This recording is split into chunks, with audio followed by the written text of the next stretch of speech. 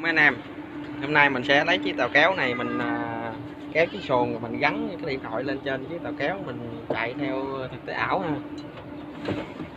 Hiện tại mình đang ở ờ, ở cái sòi tỉnh kiên giang ở đây rất là buồn.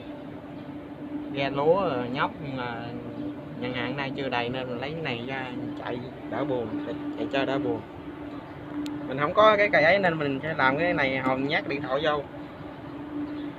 Chưa mua được cái bình nhỏ nữa nên không có gắn cái cabin lên trên được. Lấy à, xong cái clip này nào có à, đi lên bờ mình sẽ mua cái bình nhỏ rồi gắn cabin lên chạy ban đêm quay cho anh em coi thử. Cái bình này mình chơi tới nó nổ bình luôn rồi cỡ này nè. Bữa sạc quên sao mà nó nổ bình. Không biết còn chạy được không? Để ngồi sẽ thử ha sớm giờ đang làm chiếc xà lan 2m8 cho ông khách. Thì mình sẽ quay sơ sơ thôi, chừng nào mà hạ thủy mình sẽ quay kỹ ha chiếc này hai máy 2m8 mà chở được hai người.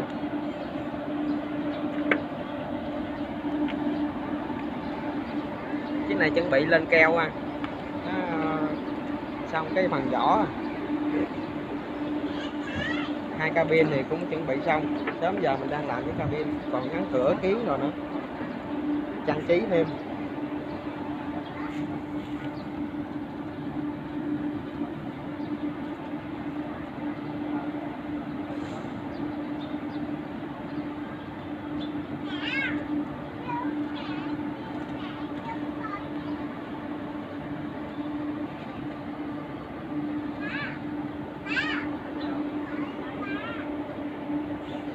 Rồi bây giờ mình sẽ đem chiếc tàu kéo xuống sông ha.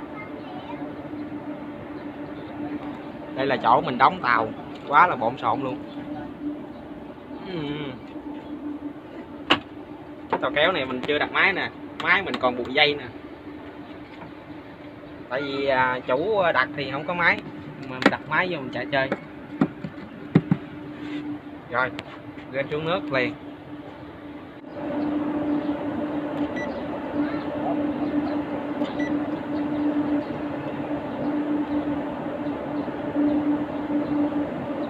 Rồi chạy nè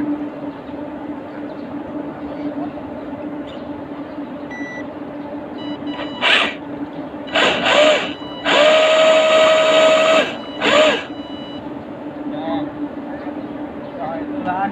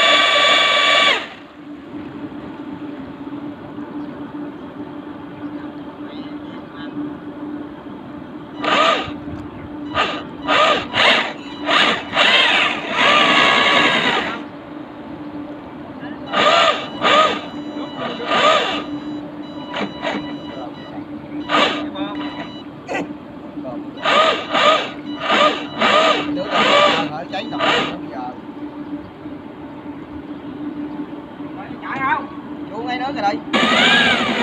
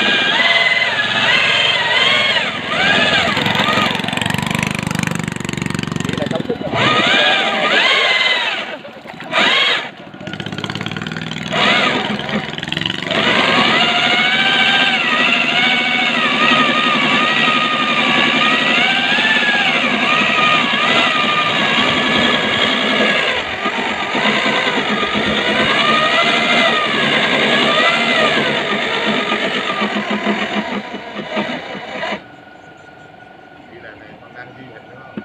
đang quay bên nó khỏ nó chờ rồi cháu mày mấy cái à, ở chợ đức đó mà mốt phải làm cái đường thoát nước đi, là để nó không